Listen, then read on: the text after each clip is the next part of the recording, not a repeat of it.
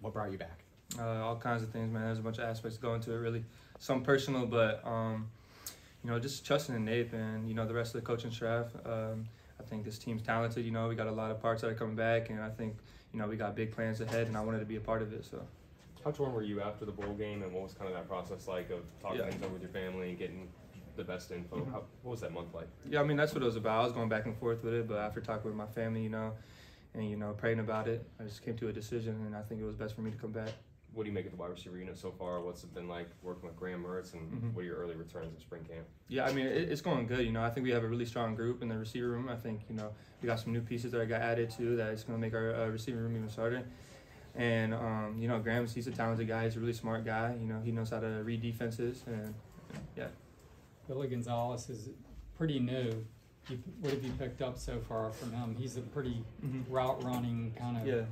machine there. Yeah, uh, Billy G. He got a Coach G. He got a big resume. You know, he put a lot of guys in the league. You know, and especially you know here in Florida. And you know, I'm just trying to take as much knowledge away from him as I can. I think uh, you know a bunch of receiver coaches have their own ideologies and knowledge that they can give to me, and I can take away from them. And you know that that's the biggest thing for me is like how much uh, knowledge can I take away from Coach G. You know, he's he's a knowledgeable guy. He knows a lot about uh, techniques and as being a receiver. So just taking the most away from him. What Have was you the picked sense of something comfort? up? Go. Have you picked something up?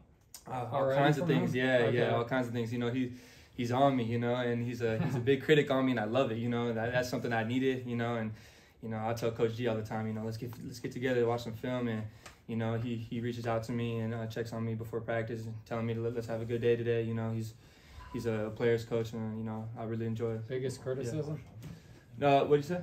Biggest criticism? Like on me? Like yeah, what is what's it? he what's he kind of hammer you on? Um, all kinds of things, man. You know, there's there's there's so many aspects of being a receiver. There's all kinds of things, but you know, just you know, knowing your assignment, you know, and uh, you know, finishing every play. That's one thing that he's big on is you know finishing, you know, and uh, getting a winning position. You know, so those, those are some things that he's really big on. And obviously, making a big play. That's one thing that he breaks down the, the receiver group at the end of practice. He's big play on three. You know, so he, he's a big play guy. You know, you got to be explosive with the ball in your hands.